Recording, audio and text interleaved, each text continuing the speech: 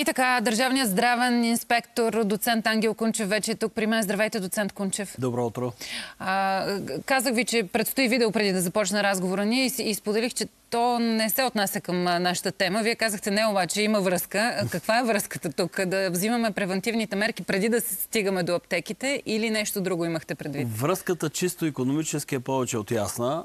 Дори най-новите и най-скъпите вакцини срещу грип които са около 20 лева, са в пъти по-ефтини от лечението и то на неосложнен случай, защото всичко, което говорим тук е на база лечение вкъщи. Ако пак влезем в болница, представете се как набъбва там разходите, което още веднъж идва да ни покаже, че профилактиката е най-економически изгодната. Освен това, че ни спестява страшно много главоболия, неприятности, така грижи и за нас, и за членовете на семейството, защото все пак грипа, знаем всички, почти всеки сезон някой семейство или пък няколко члена на семейство минават през него неминуемо.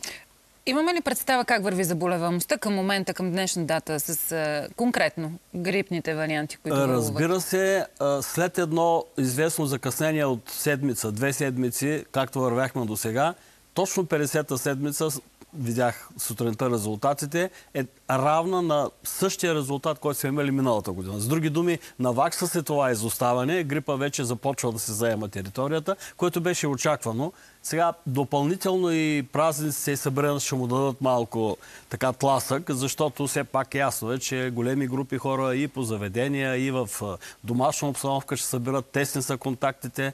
Няма нищо лошо в това, но неминуемо ще се обменим и вирусите, които носим.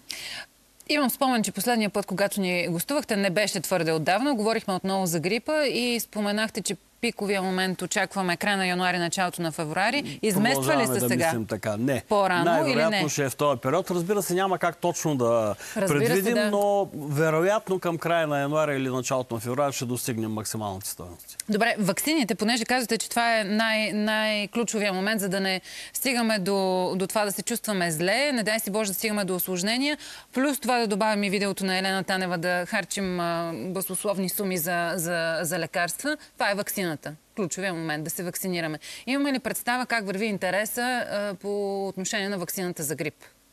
Имаме и за щастие показателно е, че тази година има търсене на вакцината. Записаха се много хора предварително още от септември, когато чуха, че продължава програмата осигуряването на тези безплатни вакцини за хората над 65 години. А сега данните върват малко с изоставане. Към вчерашна дата бяха направени около 88% от доставените 308 хиляди вакцини или с други думи е малко над 250 хиляди.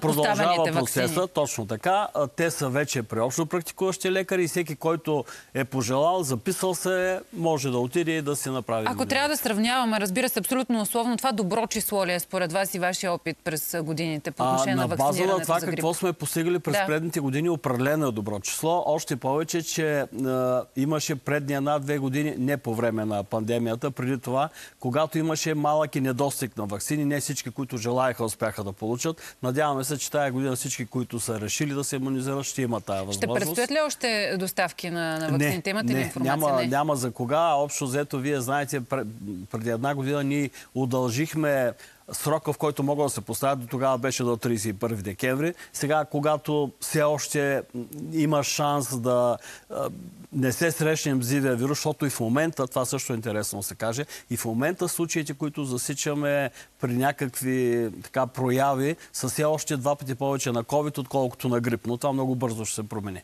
Тоест, COVID има преимущество все още все спрямо още, грипните като заболяемост, да. А, как се развива там заболеваемостта тогава? Няма нещо особено.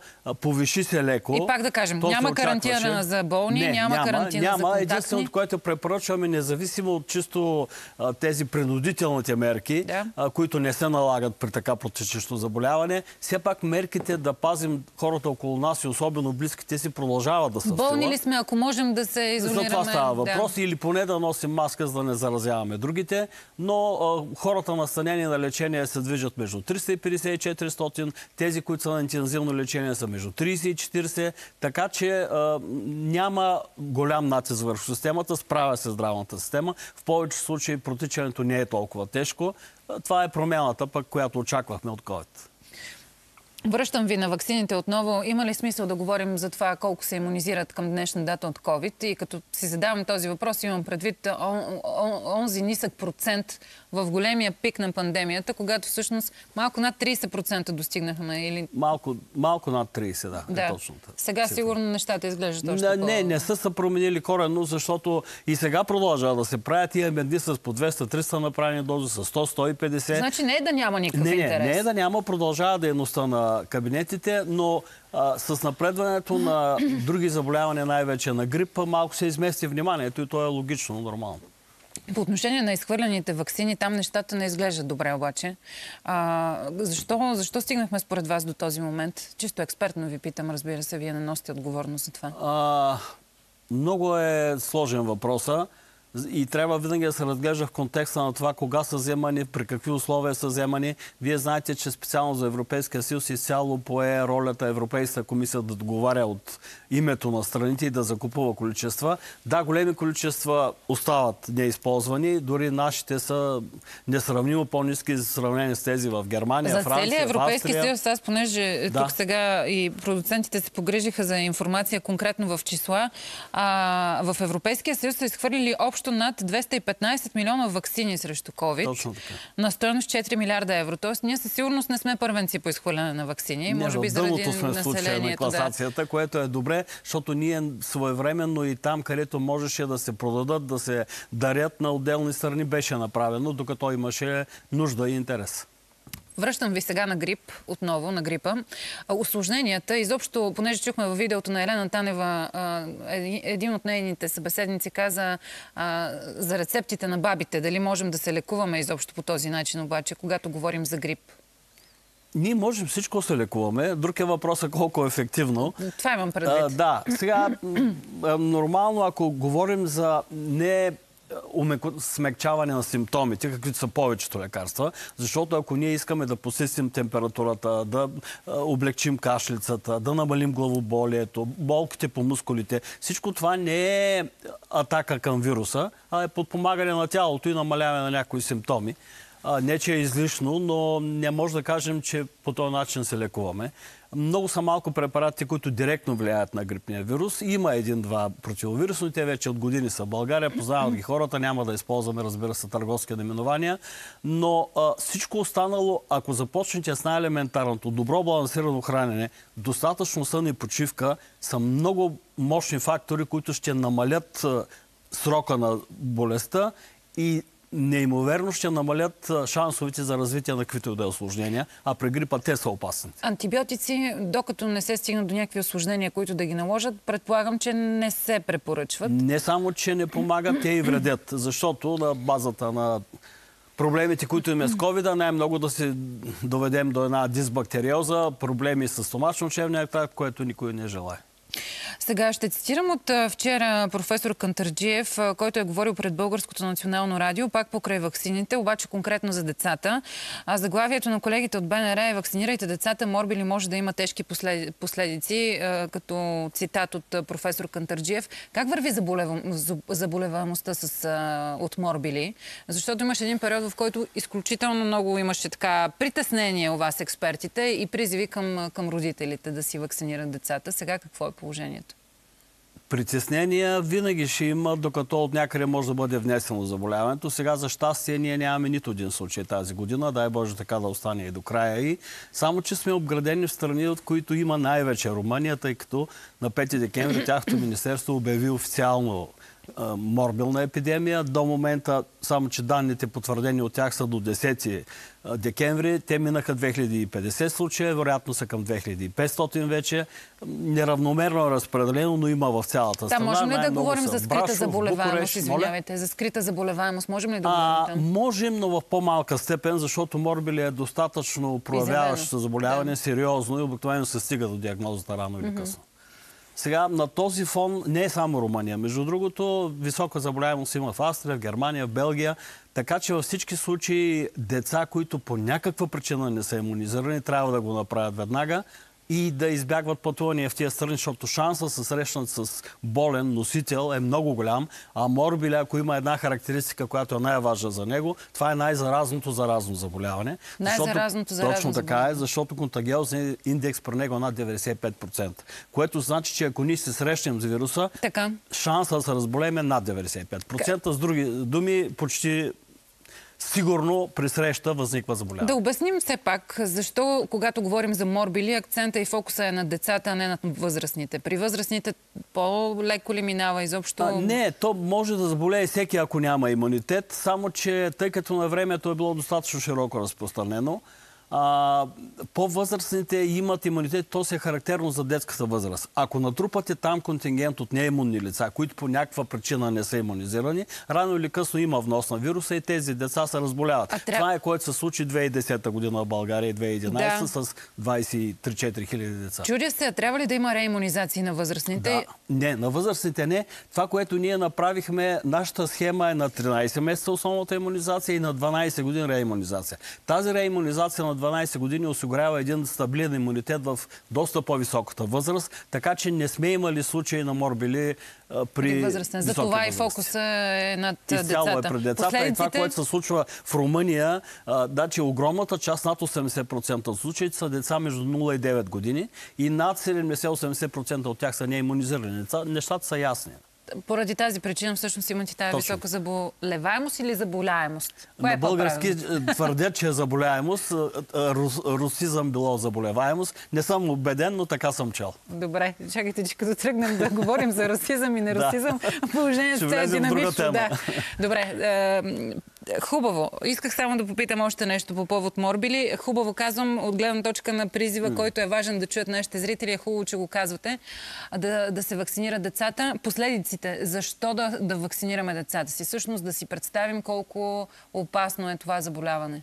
То е опасно от две насоки. Самото заболяване като заболяване не е леко. Много често, не много често, но в 5-10% води до развитие на пневмонии, понякога до менингити и много тежки енцефалити. Виждали сме го, преживяхме го и по време на епидемията 2010 година. Втората, второто направление, което между другото е много интересно, че и една българка, работеща в Англия, участва в екипа, който го доказа, а, морбилният вирус буквално опустошава нашата имунна памет. Някой го беше сравнил, много ми хареса, като престъпник, който е влязал в репилто и е запалил целия, цялата база данни, която имат за всички в годините престъпници назад, което ясно, че да. остава без възможности за намеса. А, също става и в организма. Обикновено ние реагираме много бързо. Имунната ни система много бързо изработва антитела, когато имаме спомен за тях, когато има останали клетки на имунната памет. След морбилния вирус те изчезват и ние сме, как да кажа, като с отворена врата към всички други инфекции. И ние наистина го наблюдаваме. Такива деца месеци и дори година след преболедуване са много податливи на всичко, което минава. Ще ти позволя за втори път само да цитирам професор Кантарджиев, защото акцента вчера на, на това интервю, което е дал пред БНР е изключително наистина над това заболяване. Той е казал така, по празниците идват туристи, персоналът на курортите да се вакцинира срещу морбили. И пак се връщаме на предишния ми въпрос за това доколко наистина превентивно не е хубаво пък и по-възрастните да се реимунизират или а, няма според вас? Не се налага за момента. Вижте, аз имам данните за миналата година, имам ги и за първото 6 месече, но за миналата година са по-обобщени. На 13 месеца, когато е основната иммунизация срещу морбили, нашия обхват е 91,2%. Да, не, не са тия желани 95, които биха ни гарантирали, че епидемия няма да има, но не е нисък. Нека да ви цитирам защо в Румъния се да. случи това? Защото е 70% за първата иммунизация и под 60% за втората, за реимунизация на 12 години. При нас тя е 87%. Има още какво да се направи. Ние пуснахме преди две седмици писмо до всички общо практикуващи лекари да прегледат още веднъж списъците и всички деца, които по някаква причина са застанали, да бъдат обхванати, за да не допуснем. Да, внос може и да има в страната, но се надявам той да е отделни случаи или малки взривове, На база за а не, имунитета на не населението и вакцинирането на населението. Добре, към момента нямаме такива случаи, Не, да няма. кажем също, защото Все това е ключов удържа. въпрос. Съвета ви към, към хората сега идват наистина много светли, много празнични дни. Аз ще посрещнем първо Рождество Христово, ще се съберем с семейството. Казахте, че това е предпоставка наистина за увеличаване на заболеваемостта. Нова година. Там пък се задават едни чудни купони. А, и по курорти, и в домашна обстановка, и по вили, и къде ли не. Купон с много хора от различни места. Някои хора не са се виждали от години, идват от чужбина. Няма лошо, а, така, преживяхме ограничения и ни- никой не иска те да се връщат. Така е, да. Нека да си направим празниците хубави. Просто ако има човек с видими признаци, зачервено лице, течащ нос, кашлица, кикане, температура, то няма място в компанията. Нека нали, да се изолира в една Колкото да да има достъп до всички вкусоти, но не и да е с всички останали. Благодаря ви, доцент Кунчев. Пожелавам ви една здрава година. Идвам да ви изпратя на живо от студиото. Здрава, успешна, спокойна и мирна Дай година Боже. за вас и вашите близки и за всички нас, изобщо Дано, в България. дано. Хубав ден Нека да е и до здрава нови и по-рядко да се срещаме по такива Така е, поводи. така е. Всичко добро. До